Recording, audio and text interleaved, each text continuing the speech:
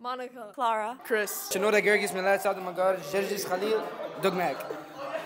Andrew. Juliana. Verena. If Jesus could perform any miracle for you right now, what miracle would you pick? Uh, Jesus has already performed a miracle for me in which I have passed Algebra 2 this semester, which would not have been possible without him. So thanks, Jesus. You're the best. If any animal could attend the liturgy, which animal do you think would be the loudest?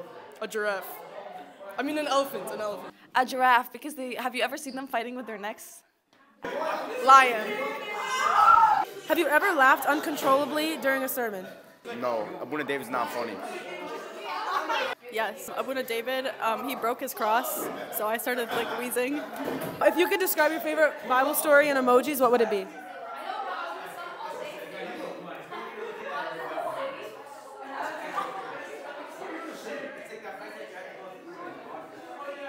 What is it? Samson.